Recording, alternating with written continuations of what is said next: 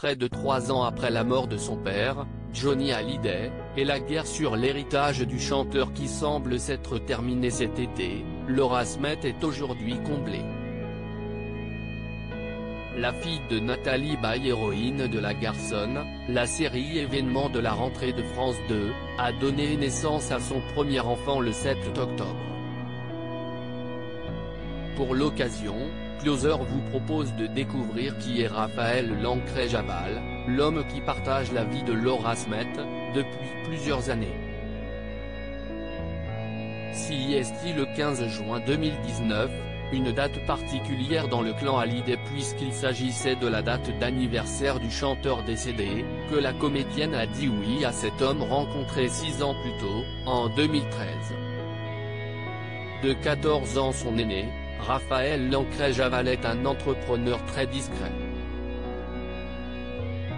Toutefois, cette discrétion ne l'empêche pas d'être une épaule solide pour la femme qu'il a aimée.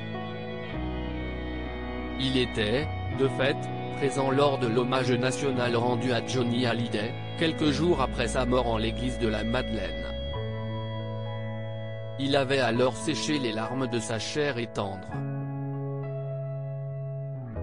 Laura Smet, j'ai rencontré la bonne personne Raphaël Lancret-Javal, déjà papa d'un garçon, vient d'accueillir avec Laura Smet, leur premier enfant ensemble.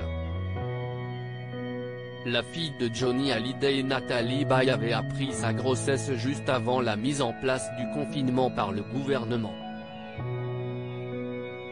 Je suis resté avec mon amoureux et mon beau-fils à la campagne, a-t-elle confié récemment dans une interview accordée à nos confrères de Téléstar. Laura Smet n'évoque que très rarement celui qui a changé sa vie. D'ailleurs, quand elle fait référence à son mari, elle ne cite jamais son prénom. J'ai trouvé l'apaisement à 30 ans. Peut-être parce que j'ai rencontré la bonne personne. Je suis devenu quelqu'un de serein, expliquait-elle, en 2018, dans les colonnes de Paris Match.